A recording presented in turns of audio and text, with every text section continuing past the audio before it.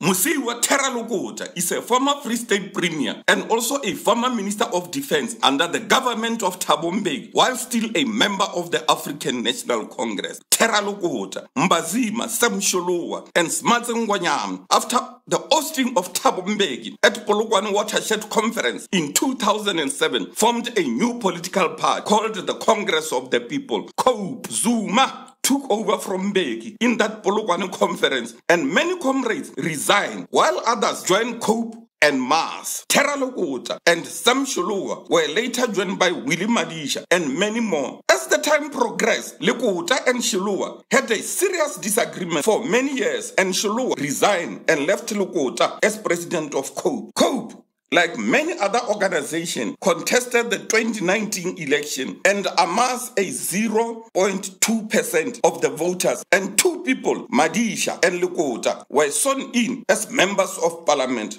group, a splinter party from the African National Congress, with its president Terra Lugota, suspended Willy Madisha. And Willy Madisha, in turn, suspended Terra Lugota. As the circus continued, COPE expelled Willy Madisha from COPE and ultimately from Parliament. Dennis Blue, the former spokesperson, and many more COPE members resigned, and Lugota introduce someone who is unknown in politics, in parliament, only to be embarrassed when they have to vote and co become a shell.